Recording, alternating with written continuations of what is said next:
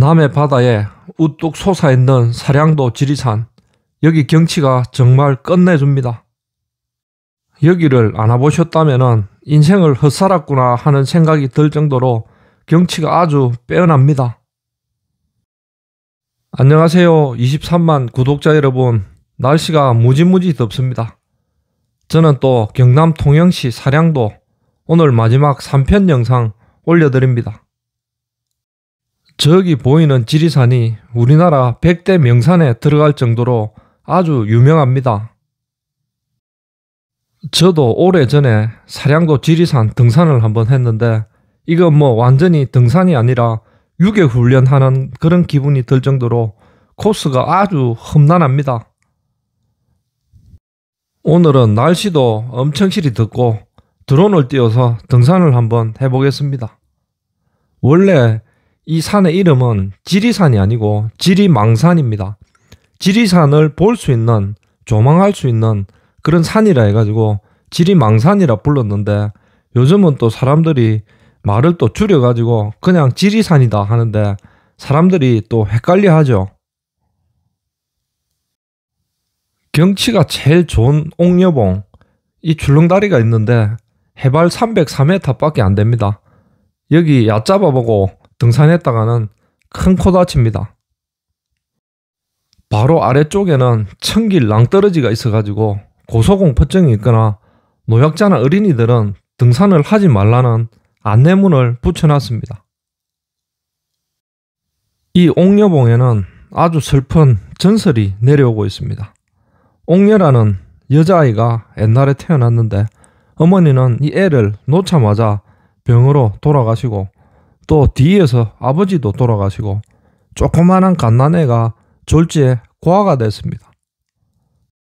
동네에 사는 호라비가 이 옥녀 아이를 거두어 가지고 동양젖도 먹이고 해가지고 양녀로 키웠답니다. 16살이 되었을 때는 아주 미모가 출중한 그런 어여쁜 처녀가 됐답니다. 그런데 의붓 아버지가 이 옥녀에게 흑심을 품기 시작했답니다.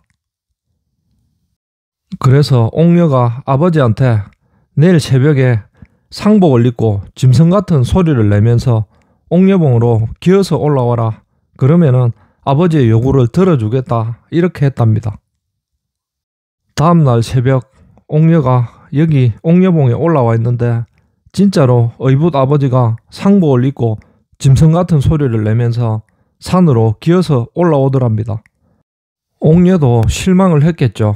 진짜로 그렇게 짐승처럼 해가지고 올라오는 모습을 보고 옥녀도 실망을 해가지고 야, 더 이상은 안 되겠구나 해서 머리에 치마를 뒤집어 쓰고 이 낭떠러지에 떨어져서 꽃다운 16살 청춘을 마쳤답니다.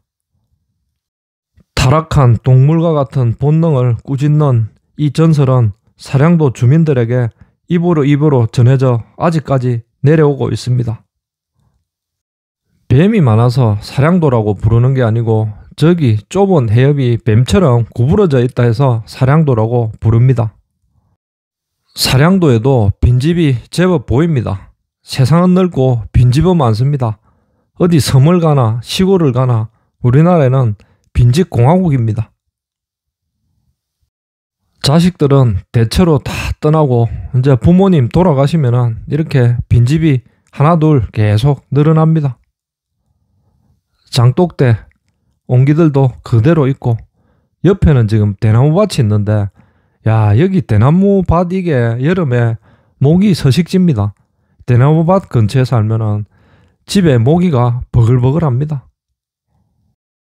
이번 7월 달부터 빈집 과태료 이게 제도가 이제 공식적으로 시행이 됩니다. 그런데 이런 집은 뭐 빈집 과태료를 먹이는 게 아니고 아주 위험하거나 쓰러져 가는 아니면 너무 흉물스러워서 경관을 해치는 그런 집이 대상이 됩니다. 여기는 보니까 자제분이 한 번씩 오시는지 네, F킬러 같은 것도 있고 가끔씩은 자제분들이 들리는 것 같은데 올해는 한 번도 안 온 것 같습니다. 입구 쪽에 보니까 풀이 자라가지고 도저히 사람이 들어올 수가 없을 정도가 돼 있습니다. 옛날 흙집 창고네요. 아주 오래된 것 같은데 이 흙집이 아직 안 무너지고 있다는 게 신기합니다. 대나무가 옛날에는 집도 짓는 재료로 쓰고 또 낚싯대로도 쓰고 아주 유용하게 썼죠. 그런데 지금 저게 얼마나 번져가지고 뭐 집을 집을 삼킬 정도가 되니까 이제는 대나무 저것도 천덕꾸러기가 됐습니다. 집에 들어오는 입구인데 잡초에 뒤덮여가지고 올해는 사람이 들어온 흔적조차 없습니다. 요즘 시골 마을 이렇게 쭉 돌아보면은 뭐 동네 사람 한 사람 만나기도 어렵습니다. 네, 저기 또 얌생이가 있네요. 사랑도에 염소가 천지입니다. 저 멀리 무인도 같은데도 염소를 풀어놔가지고 뭐 섬에 있는 풀을 다 뜯어먹어가지고 민둥산을 만들어서 골치덩입니다. 저 건너편에도 빈집이 하나 있습니다. 뭐 시골에 오면은 빈집 찾기는 식은 죽 먹기입니다. 저기 맞은편이 사량도 아래섬입니다. 네, 저 해협이 아주 좁거든요. 그래서 아주 가까이에 섬이 서로 마주보고 있습니다. 여기도 보니까 옛날에 밭농사 짓던 자리인데 지금은 묵혀가지고 완전히 쑥대밭이 되어 있습니다. 요즘 시골에 사람이 없다 보니까 이런 밭 공짜로 농사 지어 먹으래도 지을 사람이 없습니다. 사량도 쭉 둘러보면서 땅값을 알아보니까 여기도 결코 싸지는 않습니다. 이 마을 같은 경우에 평당 한 25만원 정도 하고 또 저기 옆쪽에 사량 면 쪽으로 가면은 비쌉니다. 거기는 뭐 30만원, 40만원 이렇게 합니다. 이 집은 지금 비어 있는데 옛날에 뭐 어부들이 살던 그런 집은 아닌 것 같습니다. 뭐 낚시를 좋아하시거나 아니면은 섬역에서 자연인 생활을 하시던 분이 간단하게 조립식으로 지어놓은 집인데 또 이 집을 한참 동안 비워놨는지 이렇게 잡초 밭이 되어 있습니다. 이런 섬에 살면 태풍 올 때 있지 않습니까? 상당히 위험합니다. 바람, 파도가 세가지고 뭐 집 뚜껑이 날아가기도 한답니다.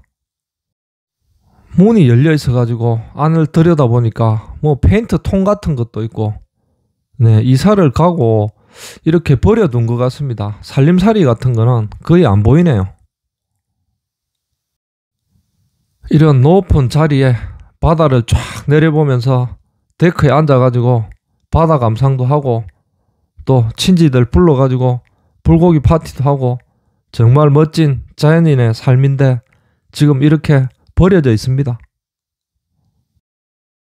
사량도 아래섬 위섬 구경을 다 마치고 이제 마지막 배를 타고 통영 가오창으로 들어갑니다. 마이크를 조금 고급으로 바꿔봤는데 소리가 괜찮은지 모르겠습니다. 우리나라 섬을 둘러다 보면 경치가 빼어난 섬들이 제법 있습니다. 오늘 영상은 여기에서 마무리 짓고 다음 영상에서 인사드리겠습니다.